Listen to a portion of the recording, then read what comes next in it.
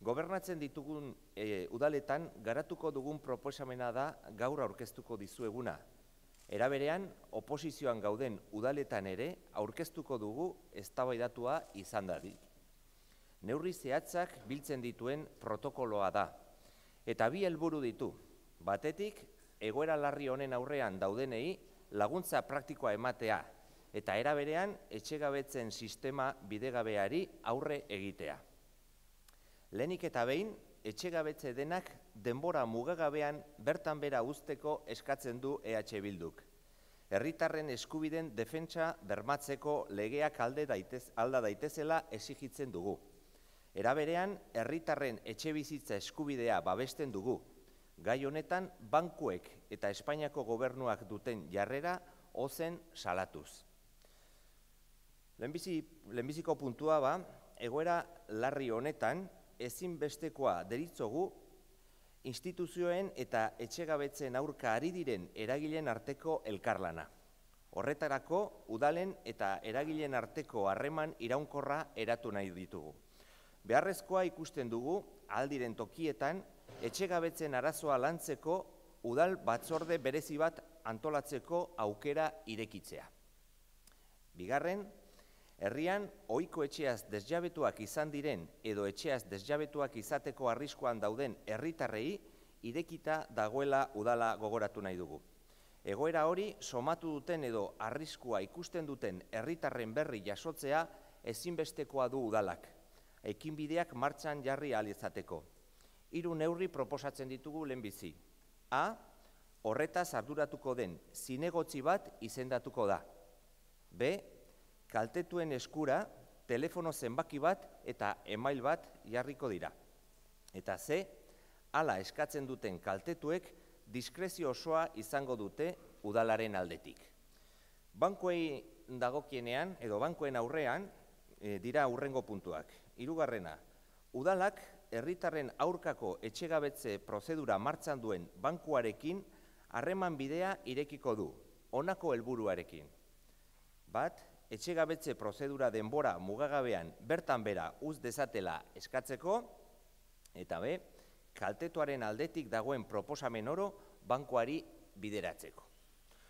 Laugarren neurria, udalak kutsabankeko partaide den einean, eta hau dagokio batez ere Gipuzkoa, Bizkaia eta Arabari, bereziki esigituko dio e, udalak entitate honi etxegabetzeak bertan bera uz ditzan, denbora mugagabean. Epaitegietan martxan dauden prozedurak ere bertan bera usteko beharrezko diren urratsak eman ditzala esikitzen dio udalak kutsabanki. Bosgarren puntua. Udalak etxegabetzen gaiarekin duten jarreraren arabera kreditu entitatekin duen harreman instituzionala, ekonomikoa eta elkarlana berrikusi egingo ditu etxegabetzeak gauzatzen dituzten eta egiten ez dituzten entitate finantziarioen arteko sailkapena egingo du udalak eta etxegabetzeak egiten dituzten banketxe horiekin harremanak etengo ditu. Seigarrena, udalak auzokidei informazioa bideratuko die etxegabetzen gaiaren aurrean banku, kutsa eta kooperatiba bakoitzak duen jarrera ezagut dezaten. Zazpi, ordezkatzen ditugun udalek ez dute etxegabetze prozederarik bultzatuko, ez eta beraietan parte hartuko ere. Era berean, gai hauetan, epaitegietatik bideratutako prozedurak gauzatzeari uko egiten dieten udal langileak, udaltzainek batez ere, babestu egingo ditu udalak. Zortzi, ohiko etxe bizitzarik gabe geratu diren herritarrei premiazko irten bidea emateko alokairo soziala erreferentzia nagusitzat hartuko du udalak. Etxe bizitzaren eskumena duten erkidego eta foru entitate publikoekin, hau da, etxe bide Euskal Autonomia Erkidegoan eta Nasubintza Nafarroan, elkarlana bultzatuko du. Eta hainbat etxe bizitza utxik dituzten banku eta igiezin enpresei ardura exigituko die.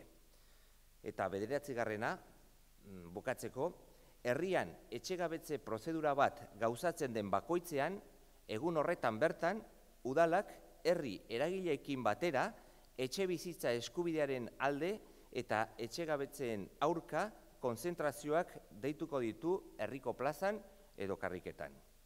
Azkenik, esan, neurri guzti hauen implementaziora bideratuko dugula gure jarduna, bai gobernuan gauden udaletan, bai eta oposiziotan gaudenotan ere.